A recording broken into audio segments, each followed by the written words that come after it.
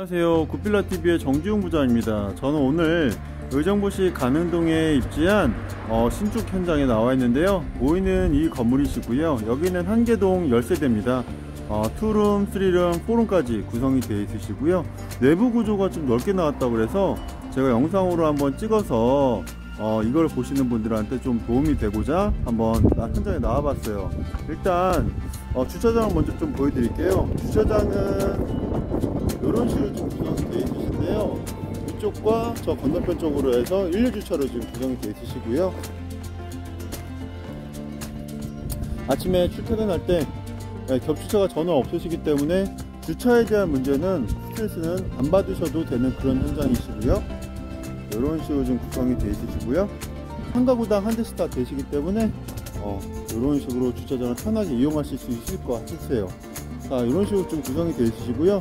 실내로 올라가셔서 내부 구조 안내 도와드리도록 할게요. 감사합니다. 네 오늘은 3룸 내부 안내 도와드리도록 할게요. 일단 엘리베이터 옆면에 지금 배치가 되어 있으시고요. 여기가 이제 3룸 구조 타입이신데요. 어, 보시면 옆쪽에 3단 긴장으로 해서 전실 구성을 해주셨어요. 밑에 하부티움 시공 되시고요. 보시나요? 네, 슬리퍼가 이렇게 물이 젖거나 그런 부분이 있으실 때 이렇게 예, 얹어놓는 형태 이런 느낌. 다른 데서는 찾아보기 쉽지 않은데 이렇게 지금 구성을 좀 해주셨어요. 이렇게 되시고 왼쪽에는 웨인스코트 마감을 해서 좀 고급스러운 느낌 예, 연출해 주셨고요. 이렇게 지금 전실 구성이 되어 있으세요. 전실 자체는 그렇게 크진 않지만 그렇다고 작다 이런 느낌은 아니신 거거든요. 가족분들이 사용하시기에 어, 부족함이 없는 공간일 것 같고요 앞쪽에는 지금 삼연동 중문 슬라이딩 도어 되어 있고 블랙도어 지금 되어 있으시네요 깔끔한 느낌을 좀 연출해 주셨고요. 바로 문을 열고 들어가면 보이는 거실. 거실 자체가 상당히 크게 보여요. 네. 이렇게 지금 거실 구성이 되어 있으신데 일단 거실부터 제가 안내를 좀 도와드리도록 할게요. 거실 자체는 이쪽에 이제 TV 월이 되어 있으시고요. 네. 이쪽으로 해서 이제 쇼파홀로 해서 구성이 되어 있으신 것 같아요 쇼파를 지금 놓기는 하셨는데 좀 작은 쇼파를 놓으셨는데 제가 봤을 땐 여기에 지금 4인용 쇼파 정도가 들어오실 수 있을 것 같고요. 아니시면 쇼파 좀 큰 걸 놓고 싶으시다 그러시면 요 반대쪽으로 해서 어, 쇼파를 놓으시면 제가 봤을 땐 5인용 6인용 쇼파까지도 가능한 그 정도 거실 사이즈가 나오실 것 같아요. 일단 거실 너비 좀 먼저 재봐 드릴게요. 거실 너비가 3790 거의 3800 정도 나오시거든요.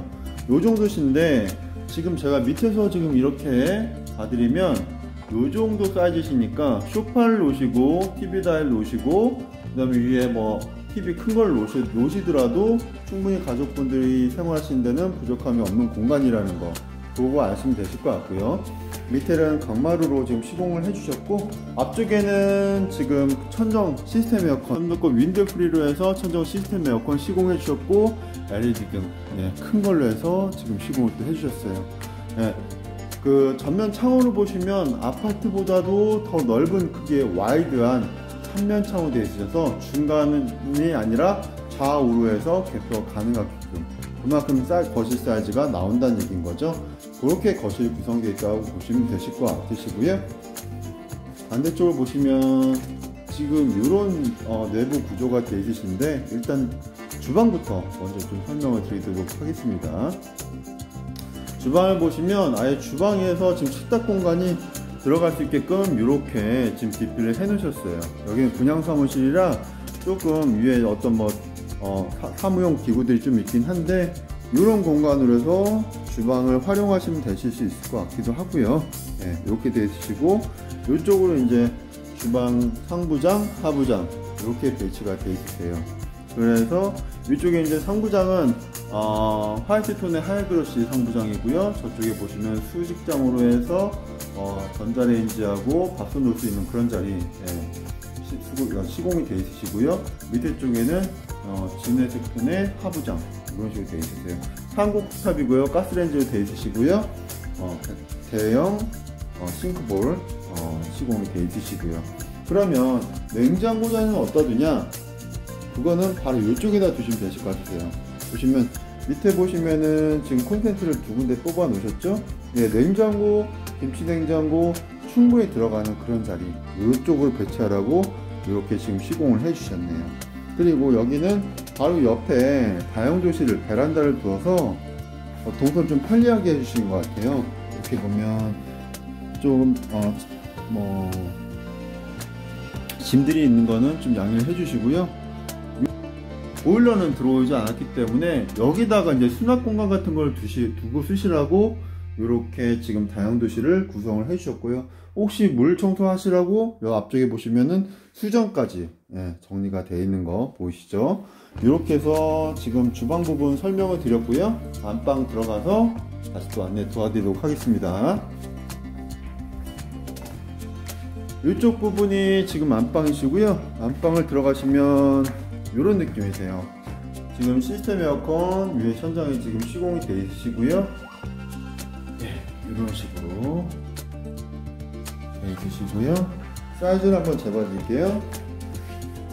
사이즈는 네, 3200이 나오시고요. 이쪽 보시면 3350이 나오세요. 어, 11장을 좀 넘는 그 정도 사이즈인데 그냥 근데 겉으로 딱 봤을 때는 이 벽지가 조금 그 화이트 톤보다는 조금 진한 아이보리색이신데 어, 되게 크게 넓, 넓 느껴져요 분위기가. 그래서 저 앞쪽으로 해서 지금 시스템장 어, 붙박이장 놓으셔도 충분히 뭐 가능한 공간처럼 보이시고요. 앞쪽으로 침대 놓고 부부가 사용하시면 되실 수 있는 그런 공간처럼 보이네요 제가 봤을 때는. 이렇게 보시면 되실 것 같으시고요. 부부 욕실을 한번 보여, 보여드릴게요. 부부 욕실은 이렇게 되, 구성이 되어 있으세요. 네, 환풍구랑 그 다음에 LED 매립등 들어가 계시고 그 다음에 유리 수납 선반 유, 아니 유리 저기 수납장 그 다음에 유리 거울 밑에 일자 선반하고 세면기하고 양변기 밑에 미끄럼방지 타일 이렇게 구성되어 있으신데 안방 화장실이기 때문에 그렇게 사이즈는 크진 않으세요. 이 정도인데 근데 부, 뭐 사용하시기에는 부족함이 없으신 그런 공간이실 것 같아요. 이렇게 지금 구성이 됐다 보시면 되실 것 같고요. 나머지 방들도 제가 안내를 도와드리도록 할게요. 나머지 방들은 지금 들어오는 전실 반대쪽에 지금 구성이 되어 있으신데 일단은 앞에 보이는 이 방부터 먼저 안내 도와드리도록 할게요. 여기는 이런 식으로 좀 구성이 되어 있으시고요. 네, 앞쪽에 지금 그 베란다가 보이는데 일단 베란다가 들어가 있는 부분을 제외하고 방에 대한 사이즈부터 먼저 재봐드리도록 할게요. 네, 이쪽은 2350이 나오시고요. 이쪽을 봤을 때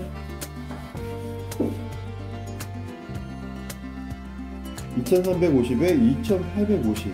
뭐 아이들 방을 사용하셔도 괜찮고 서재나 아니면 다른 뭐 놓으실 수 있는 방으로 사용하셔도 네, 이게 방 자체가 뭐 잘리지 않고 나왔기 때문에 직사각형으로 나오셨기 때문에 방의 쓰임새가 어, 재앙을 받지 않는 것 같아요. 제가 봤을 때는 그렇게 보시면 되실 것 같고요. 여기 옆에는 베란다인데 베란다의 역할보다는 보일러실의 역할, 그 다음에 뭔가 수납할 수 있는 공간을 놓으시는 그런 역할로 지금 이용하시면 되실 것 같고요. 보일러, 나비엔 보일러 지금 설치가 되어 있고요. 네, 앞쪽에는 소부관관 긴창 이렇게 해서 시공을 좀 해놓으셨네요. 이런 식으로요. 이렇게 보시면 되실 것 같고요. 마지막으로 나머지 방 하나 지금 제가 안내를 도와드리도록 할게요. 이렇게 바로 그 전실 옆쪽으로 해서 지금 들어와 있는 방인데요. 방 자체가 상당히 커요. 여기도 그냥 그 벽걸이 에어컨 좀 시공을 해 주셨고요. 이런 식의 느낌이시고요. 하늘색 그 벽지를 사용하셔서 느낌 자체는 좀 산뜻한, 산뜻한 느낌을 좀 주시고 계신 것 같아요. 사이즈를 재봐드리면 2790, 2800 정도 나오시고요. 비교되면 2770. 오, 사이즈 아주 좋습니다. 이 정도시면 제가 항상 말씀드리는 3점 가구, 책상, 어, 침대, 그 다음에 옷장, 어, 조그만 책장까지도 가능한 그 정도 사이즈가 나오시거든요. 이렇게 해서 아이들 방으로까지 이용하시면 되실 것 같으세요.